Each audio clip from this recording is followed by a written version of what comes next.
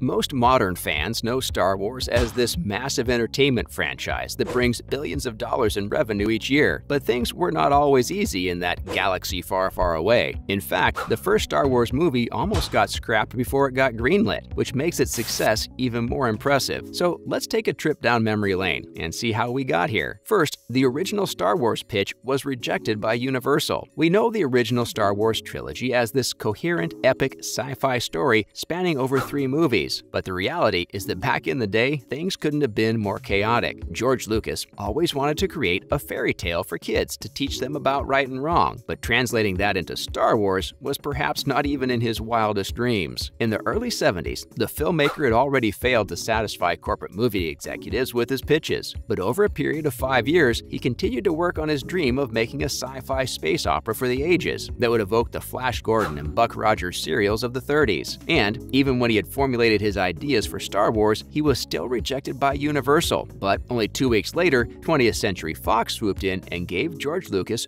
$50,000 to write and $100,000 to direct a film. Now, by today's standards, especially for a Star Wars movie, this budget is absolutely tiny. For context, the budget for The Rise of Skywalker was more than $275 million. And even though Episode 3 ended up grossing $250 million, the story wasn't nailed down until the last moment. In fact, the final script for Star Wars A New Hope looked nothing like the first draft, almost like they were two completely different movies. But all's well that ends well, right? Next, CGI wasn't really a thing back then. These days, we know Star Wars is the franchise that has some of the best CGI out there pushes the boundaries of the medium. Back in the 70s, though, CGI kinda didn't exist, so George Lucas and the team, with the little money that they had, came up with some truly innovative ways to add effects to the movies. Most of the visual effects work was actually just physically creating models, puppets, and sets, and a lot of it was just cobbled together using makeshift items from the set. For instance, the exploding Death Star was just cardboard and bits of titanium, and Yoda was an animatronic puppet. Not only that, but the most iconic weapon in any movie franchise, the lightsaber, was created using parts from a camera flash attachment. Doesn't that sting though, knowing that you spent $400 on a lightsaber that was originally made with random stuff and some tape on the set? Maybe the fact that it glows and makes a cool whoosh and buzz can make you feel better though, because the ones they had on set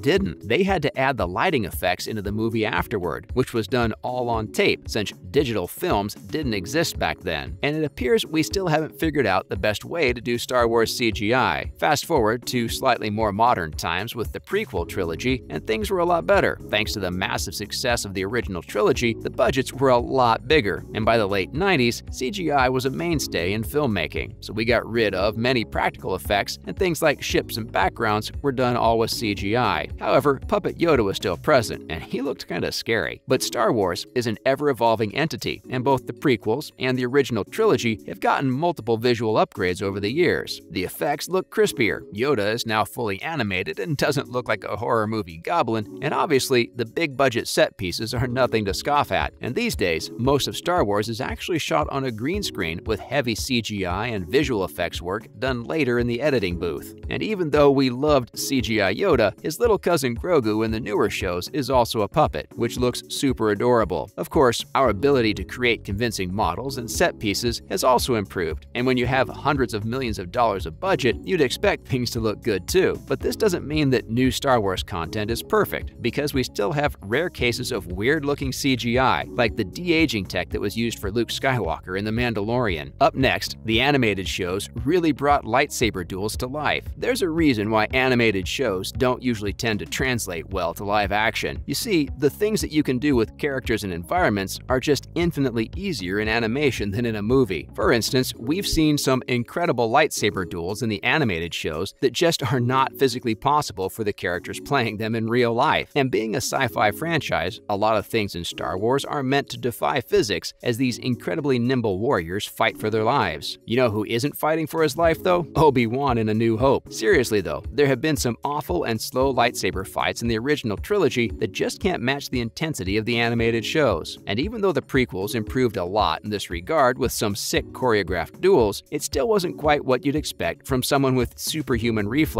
But when we got the shows like The Clone Wars and Rebels, we really got to see Star Wars at its full glory. And despite some iffy animation stuff in the earlier seasons of The Clone Wars, things got progressively better with time, and by the end, many people would say that the animated animated shows are actually better than live action. And of course, this also extends to the games of the franchise. We've got some horrendously bad licensed games over the years, but now AAA developers have been churning out some brilliant stuff like Jedi Fallen Order and Knights of the Old Republic. Star Wars stories and characters continue to be a complicated matter to this day. Everyone loves the original trilogy and the incredible characters that it introduced us to, and most people would say that despite their flaws, these three movies have aged super well too. But as time has gone on, and we've thrown these characters into different times in their lives, things have kind of started to fall apart. Back then, George Lucas had the final say, and he clearly had a plan in mind for each movie, even if he continued to make last-minute changes. Back then, we only got three movies in the 80s and three in the early 2000s. Now, imagine having to wait for decades for a new Star Wars movie. Sounds crazy, right? But many would argue that it was the planning in between all those movies that made the story feel cohesive and well thought out. Since it has become a massive franchise that needs to become a cash cow for Disney, though, there's a lot more content coming out of it. More Star Wars should be a good thing, though, right? Well, kinda. The thing is that characters like Luke, Leia, and Han all got pretty satisfying endings by the end of Episode 6, but when we got the sequel trilogy, it opened a whole new Pandora's box for these characters who had to return to the franchise. But since there was never a clear vision in mind for the three movies, we saw a lot of different scripts being thrown around. The movies all felt disjointed from one another tonally. However, just the fact that these actors were willing to come back to their roles at all after so many years is super cool, and despite its flaws, the sequel trilogy was still highly enjoyable because of this. With that said, seeing characters evolve over time and enter different eras is cool, but sometimes this can make the massive galaxy far, far away feel tiny. And now, modern Star Wars writing is afraid of taking risks. And this is perhaps the biggest crisis that the Star Wars franchise faces right now. Back in the day, you didn't know what to expect from a new movie in the franchise, and even the original trilogy was vastly different from the prequels. But modern movies and TV shows have taken a really safe approach to everything, sometimes even copying story beats from previous works. And maybe it's done to avoid fan backlash, since it's such a beloved franchise, but the lack of creativity in modern Star Wars storytelling has made it a less prestigious proposition. Not only that, but the fact that this is a story about a massive galaxy, but we somehow continue to fall back into the same old characters and locations is something that doesn't need to happen anymore. There's plenty of room to explore new characters and stories. However, with the New Republic Phase 2 on its way, it seems like we might get our wishes fulfilled sooner rather than later. Even with all its shortcomings, Star Wars has always been a magical franchise, and to see it start from nothing to having TV shows, movies, toys, games, and literally every merchandise item you could think of has been truly spectacular. The world just wouldn't be the same without it, and we're glad that our favorite space opera has made it this far. That's a wrap for this video. See you in the next one.